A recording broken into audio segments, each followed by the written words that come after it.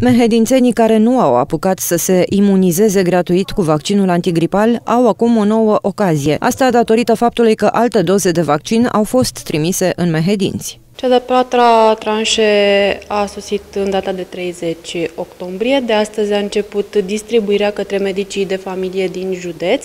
Până în prezent au fost vaccinați 7954 persoane, din care 943 cadre medicale și uh, personal auxiliar din spitale și 7011 persoane cu afecțiuni cronice. De altfel, în ultima săptămână au fost raportate tot mai multe cazuri de viroze. Medicii de familie au uh, raportat către Direcția de Sănătate Publică Mehedinți 1225 cazuri de infecție acută ale căilor respiratorii, dintre care 12 au necesitat spitalizare și 359 cazuri de pneumopatii acute, dintre care 36 au fost uh, internate. Până în prezent nu s-au înregistrat decese prin infecții acute respiratorii. Campania de vaccinare antigripală a început în țara noastră încă din luna septembrie. Medicii le recomandă mehedințenilor să se vaccineze și să respecte cu strictețe, mai ales în perioada rece, regulile de igienă personală pentru a evita pe cât posibil contactarea virusurilor.